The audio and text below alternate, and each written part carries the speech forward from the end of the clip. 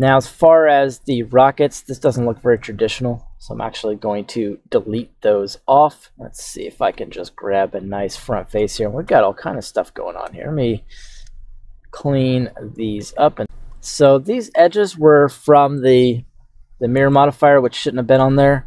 So I'll just dissolve one of those edges, which should cut that down nicely. And then I can scale that out on the X. Let me put this back to geometry for the origin point. Scale that out, G and X. Grid modeler. Bring up my grid a little bit. Let's take on a front view, and I want to build out the missile box. So something to kind of start off. think that just so I can kind of match what's going on, I'll bring the grid in a little bit. There we go. And make it look, you know, a little bit more like it's part of it. That looks pretty good. And this is this just takes the need of the booleans almost completely out which I like a lot.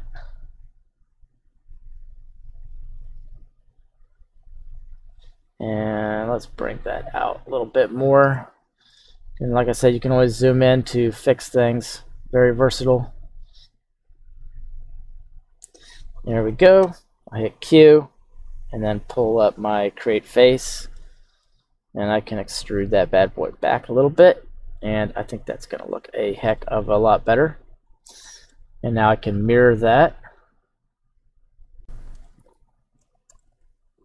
Alright, so that's pretty good. I'm going to apply the bevel and everything afterwards for this one. So I'll go back to the grid modeler.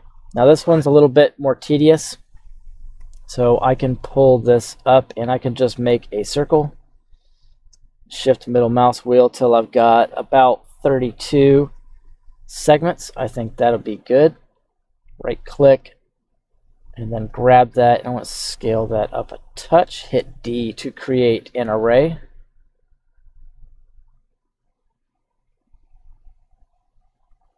I think we can hit D again.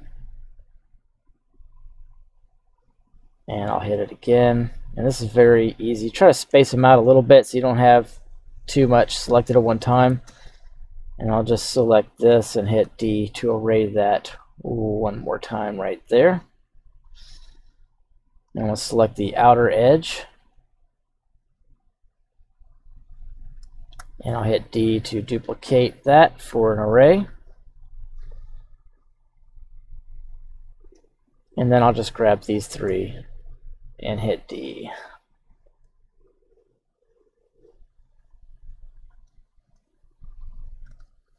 Alright, so that looks pretty good. So I'll just hit Q to create that as a bevel. And I don't want these to blow all the way through because it remembers your last beveled position. Something like that. Just give it a little bit of depth. Actually, looks pretty good.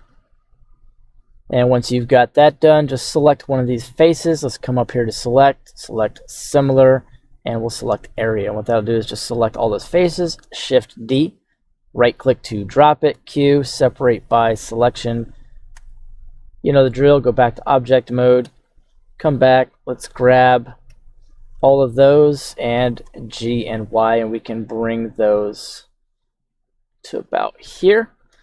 Looks pretty good. I can hit inset.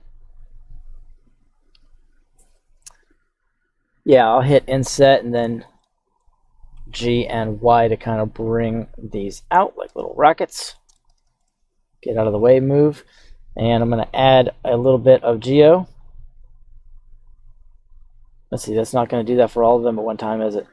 Okay, so I'm not actually going to do that. I'm just going to grab with the, I'm just going to jump over to edge select and add a bevel. And then pull the bevel back about as far as I can get it without it looking stupid. And let's see, how many do we have here? Going for six. That should be pretty good. All right, I like that. So I'll go ahead and shade that smooth and auto shade.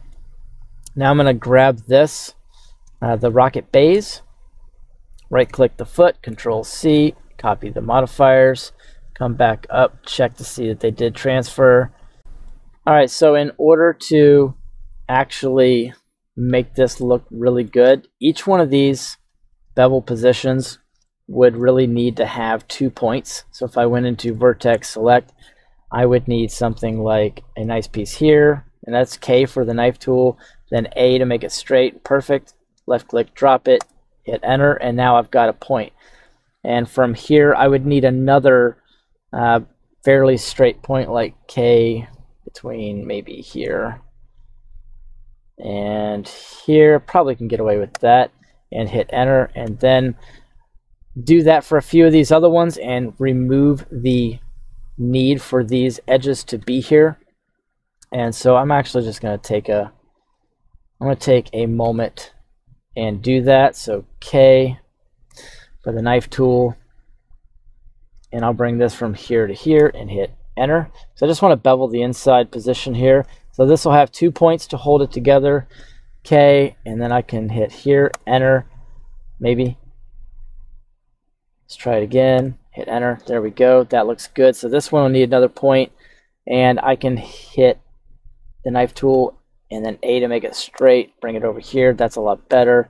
I come into edge select and grab all of these and I should be able to dissolve those edges out so that's not there looking crazy and then let's see if we can dissolve that edge as well and it should be doing the same thing to the other side and I mean there's a lot of cleanup a lot of different things you can do but now you can bevel that edge out if you wish you can put a chamfer, but I'm going to bevel it with about eight segments. That looks pretty good. And so now I've got a little bit more of a rounded look to it. And then you can kind of jump around and do the same thing if you want to do some cleanup because whenever you create booleans like that, they have to have two very uh, nice and perfect points to it. So I'm actually going to clean up this edge too so that the uh, stay in one spot so that the topology flows and see K A enter. Keep that one looking good. What happened there? What's that? Let's get rid of that. Grab this point A enter boom. Okay I don't know what that was. That was very weird. And then K A enter and do that. And now these points to see I can fix this one as well. A enter. Let's try it again. Nope not that spot because I know that's trying to grab an inside edge and I definitely don't want that. There we go. So now go to edge select and take these funky diagonal pieces and dissolve those edges and it should be good. I don't think there's any other geometry that looks crazy right there. So now I should be able to grab this edge and add the same bevel to it. I'll actually bring it down to 6, a little bit smaller. And let's jump back over and take a look at that. Yeah, looks good. So it keeps the shape language a little bit nicer. If you want, you can clean up these edges and do the same. And I think it's starting to look pretty good. All right, I'm keeping it really short for the last few tutorials, kind of chopping them up into smaller sections. Thanks for watching, guys. And I'll see y'all in the next tutorial lesson.